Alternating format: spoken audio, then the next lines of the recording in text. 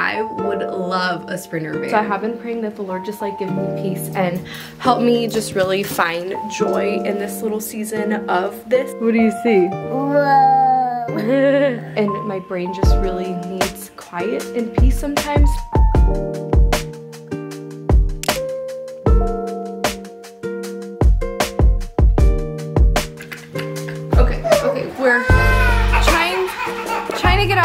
Today, but we are all having a really hard time. So normally in the mornings, Sissy goes down for her nap and I homeschool the kids. This morning, she was napping for maybe an hour and she got abruptly woken up and we finished homeschool a little bit earlier today. I wanted to do more stuff later in the afternoon that I had planned. So, I was going to take them out of the house. We were going to go to a fun little place that they love going to, but it's a little difficult right now getting out the door because you know, she'll fall back asleep in the car. We do have a bit of a car ride to get there. So she just needed extra snuggles, but I really just need both hands right now to try to get our bags ready. So as you guys know, I normally don't carry around a diaper bag. I keep it inside my car and it's like fully loaded and has everything that we need. But that bag got taken out of my car and I cannot find it. I like, I literally have no idea where it is. So I'm bringing just like one of my own backpacks and I'm throwing in a blanket for Evangeline. Anywhere that I go with her and the kids, I always bring her a blanket because I can easily just lay it down. I call it like the floor blanket. So there's one that I'll use for the floor and one that I'll use to like cover her. So she's not having to be stuck inside the car seat the entire time. Okay, I'm gonna try to do this as quickly as possible, but I normally carry my Holy Joy bag with me when I have the kids. Okay, I'm gonna bring my Bible with me, diapers, Okay, and then I have my little, you know, my like thing that has like all my pens, my lipsticks. I'm going, I'm going, sissy. Alethea's getting their snacks. Always never leave the house without snacks. you guys, not gonna lie, it has been a rough of a morning. I just I loaded up the kids now. I always do two trips, whether I load up two of them, one of them, and then come back and get other things. But I loaded all three of them now, and I came back in to grab my bags and grab my water and like grab my other stuff. But I feel like I just want to sit here for a second and just enjoy the quietness. I feel like I've been overstimulated today just because they are in a very chatty stage right now, which is so sweet and I love having those conversations with them. But as an introvert and someone who just really thrives and my brain just really needs quiet and peace sometimes to be able to properly process my thoughts and think. Um, it is a little bit of a challenge. So i have been praying that the lord just like give me peace and help me just really find joy in this little season of this and to not see it as a negative thing but to see it as such a blessing that i'm able to better communicate with my kids. So yeah i got the backpack I got my water. Bye doggies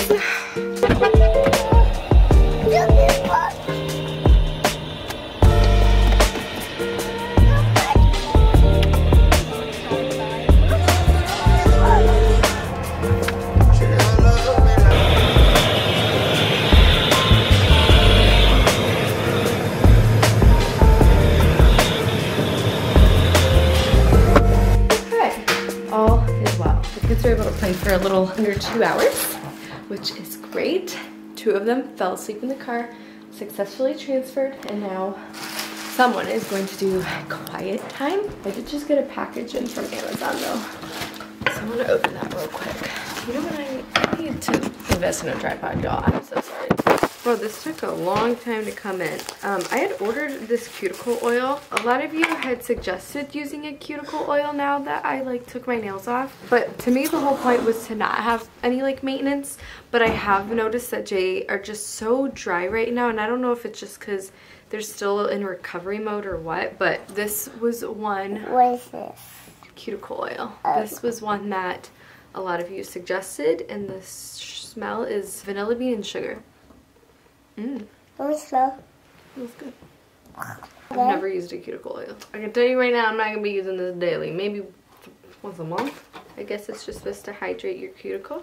Yeah, because y'all, my nails have been looking really rough. Can you put some on Little fun fact about me. I used to be a nail biter. So it wasn't until I got older that I started to kind of reflect on my childhood and kind of analysis like just see the behaviors and patterns that I had from just like little things that I used to do. I had severe anxiety as a child and one of the things and ways that I like tried coping or habits that I had built or I don't even know what nail biting would be considered or if it even is a coping, but for me it definitely was. Like I remember anytime I was anxious, I would bite my nails. And so I was a nail biter and I would also bite the skin around my nail. And so I'll still sometimes find myself doing that, but not out of like anxiety, but just like strictly out of habit. So I don't know if you can tell, but like I have been biting the edges right here. And so I feel like applying this oil will help. I think I've doomed myself because I put these on my head and I forgot they're the ones that have the little clips. So they get stuck. And then are really hard to get out without completely having to redo your house. Woo! Okay, I did it. Um, I've shared this before, but this has been so crucial for me to do this every single day and it's a challenge but it's something that is super important to me and I notice such a big difference in me and the kids but that is to carve out time to spend individually with each child. And each I've noticed like each like month I feel like that looks different um, depending on the time they're waking up, the time they're going to bed, if they're not, if they're napping, if they're not napping. Right now is the only time I'm able to carve out and get one-on-one -on -one time with my oldest because the other two are napping. And I have found also that just in general, it's a little bit harder to spend more time with your oldest because they don't require as much of your needs and like one-on-one -on -one time as the younger two will because they still do depend on me so much more than the oldest. And so I have found that right now in this season it's a little bit it has been a little bit more difficult to carve out carve out that time. Um, and with the other two like when Evangeline stopped sleeping through the night, I know it's gonna be really hard for me, which sounds so ironic and so silly, but right now that is the only time that I get with her that is just her and I. Um, and then same with Ari. I do get quite a lot of one-on-one -on -one time with him just because he is more of a mama's boy and the other two like to play with each other and keep each other entertained and he loves to cook with me. He loves, there's like so many little things that I'm able to do with him throughout the day that it's just like him and I. And so I feel like it's really easy for me to be able to get that time time with him. But the other two, I feel like I really have to be intentional about that. So if any of you are moms and you have several kids, this is just something that I feel like has been super important for me. And then that way, when I do need to do something, like a couple vlogs ago where I talked about trying to balance it all, like they were playing so well in that video. And I attribute that to the fact that I give them my undivided attention in like sporadic little moments throughout the day. And so when I am doing something, it's not like they're upset at me doing something else and like want me to give them attention, if that makes sense. It's an honor and a privilege to be able to spend time with them. And Little Big Feelings, they always suggest giving your child 10 minutes of undivided attention every single day, whether that's through book reading or puzzles or activities or whatever that looks like. That definitely changes to like sometimes I'll play with one child and like do train tracks or build an ark. Other times I'll just read with one of the kids or just snuggle or tell stories. Like I feel like there's so many easy ways that you can just give your child undivided attention. And obviously you're not limited to just 10 minutes, but if you have multiple, like it, it's, it's so, so easily adds up to like try to give, anyway, long story short, Missy here is going to start doing her quiet time and she does have a quiet time bin, but this is also when I like to do her KiwiCo box, and they are sponsoring this portion of today's video, so thank you to them. I'm going to open up, so this is what our box looks like. Since all three kids get a box, it does come in one big one, and then all three of theirs are individually in here. Okay. Alethea and Ari both get the koala crate, these are their crates and they're fine. I'm so excited to see what's in my box. I know, let's go see. Uh-huh. Like I said, each box is curated to your child's developmental stage and age, and it comes with everything that you will need. Ooh, what did I get? Ooh. Okay, this is what we're gonna make these my favorite thing is that it comes with these magazines with very specific instructions as to what to do with your kids project and how to make them this is going to be so cool i'm super excited to make this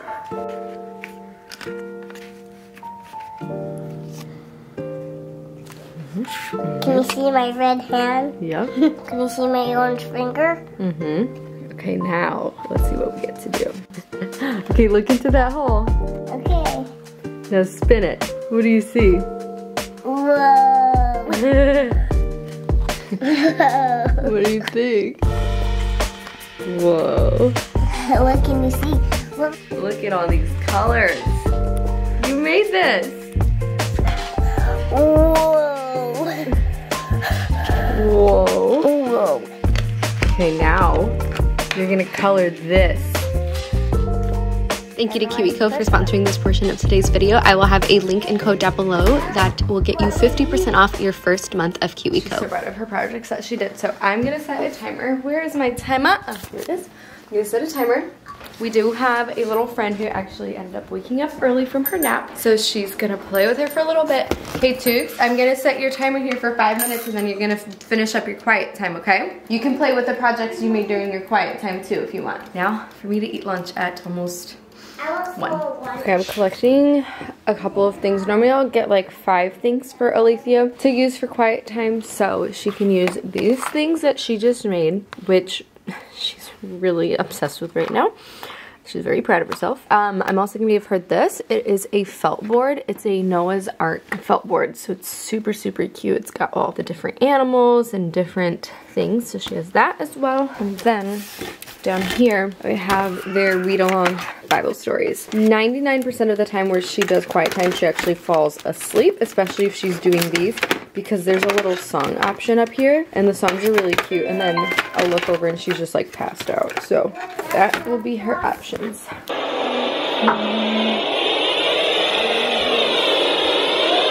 Well, hello. It is the next day. I'm going to continue vlogging it today. It's already like way late. I just like the days just go by so fast. I don't even know. That's why I have to be so intentional about what I'm doing and my time and what I'm devoting my time to because if I'm not, then my day is wasted. This monitor is great, but it literally is always dead. Like I don't understand. I don't know if you guys have it too. What is it called? It's the Infant Optics. I mean, aside from like the battery life, it's great, but it's super frustrating to me because I can't sleep with that on my nightstand or like beside my bed without it dying in the middle of the night. And so I constantly have to keep it plugged in. And sometimes it's annoying having to go up and down and try to find the charger for it and all that. Sissy is napping, so I'm just gonna. Hi. Okay, anyway, oopsies, I came in here to crack open her door because the monitor said it was warmer in here so I wanted to like get some fresh air going and then I accidentally woke her up. So Jordan went out with the kids for a second because I needed to finish planning a surprise birthday party that we're having for Miss Alethea. She's going to be turning four and we are doing quite a bit of travel the next couple of weeks and so we we are going to be out of town for a couple of weeks. Um, Sissy, she's in that stage where even the slightest of things my I don't know if this is normal, but like my letdowns take like over a minute. I timed it the other day. It took almost two minutes for me to get a letdown. I don't know if that's normal, and I don't know if that indicates anything because before it used to like if it had been almost two and a half hours like pushing three hours since she had last eaten i would automatically have a letdown without any nip nipple stimulation. But now i don't know if it's because i have no idea but it's a little bit irritating because if she's really hungry like she gets irritated obviously like she wants to eat.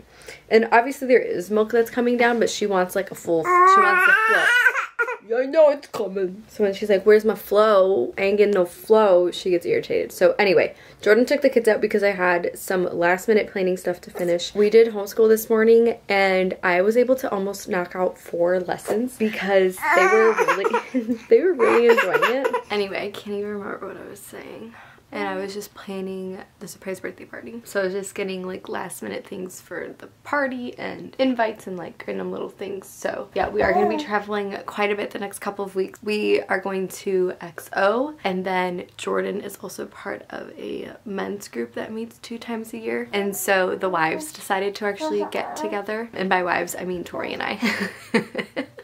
because there were a couple of other girls but they like either weren't able to come or it was just like logistically a lot to plan. It's gonna be my first time traveling with all three of them and being with all three solo, yeah.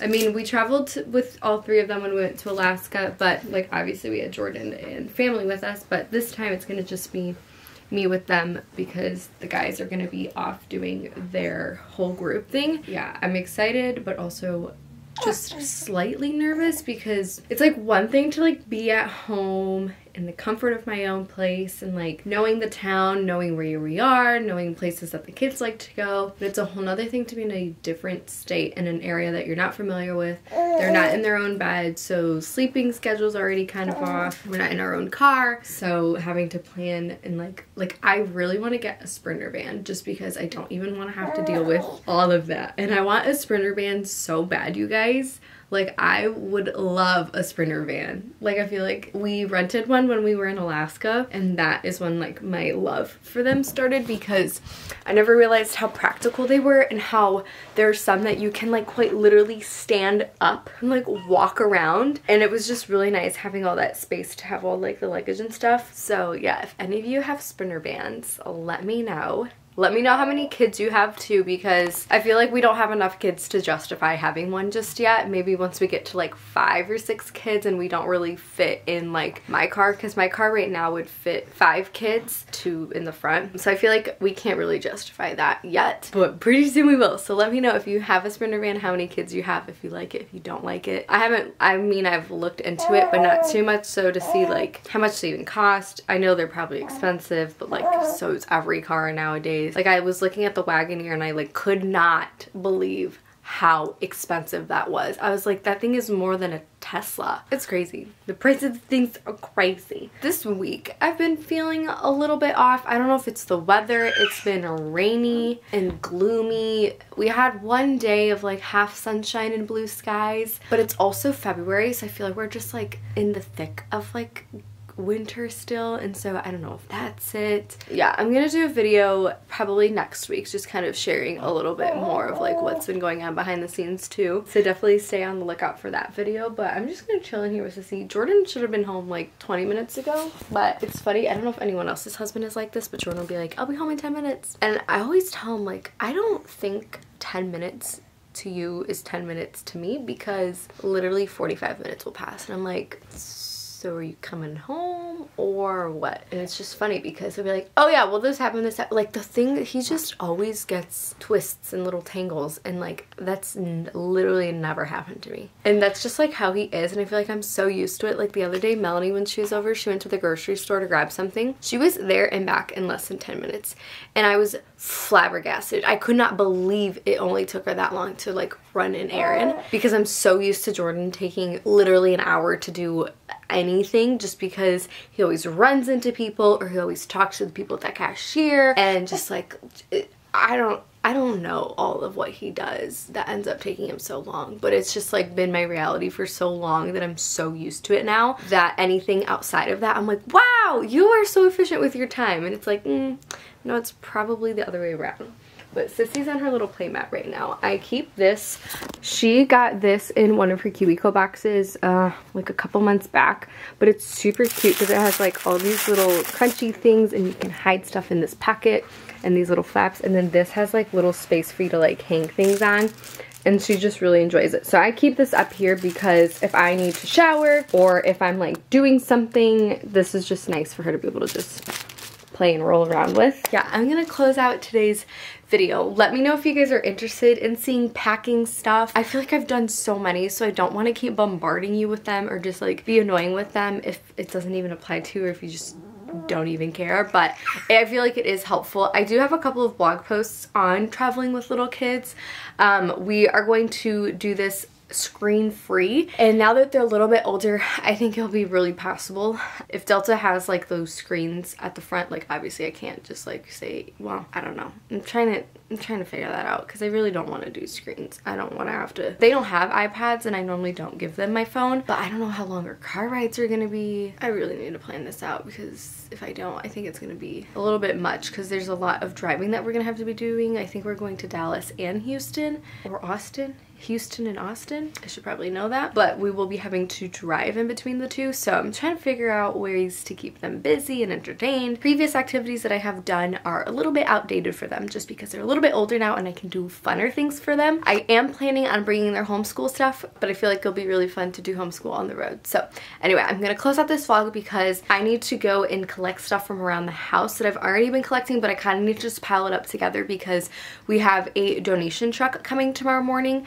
I've shared them before, but it's called donatestuff.com. You can go on their website. They will come and pick up your stuff for free and then you can pick the charity that you want it to go to. So if you have bigger things well, their list is, they have a list of things they accept and don't accept, but for me it's really convenient because if I go to drop something off at the thrift store, I just don't have the hands to like be loading and unloading things. It just takes me so long sometimes, so it's really convenient that they literally just come to your house for you and do that, and they'll let you know which ones need the most and what they're needing. So like right now they really need winter coats and winter things, and so I'm just gonna go through like all of the kids' clothes. I already went through my closet. I have like a little small basket of things, but I'm just gonna go through the house and just kind of find and Just so yeah, I gotta go do that because I just I need to do that. Because if I don't do it now, I'm gonna forget and it's not gonna get done, and then it'll be 7:30 tomorrow morning, and the truck will be here, and I'll be like, bah of my life. So yeah, I'm gonna do that. I will have my link down below for KiwiCo. Take advantage of this code because it gets you 50% off your first month,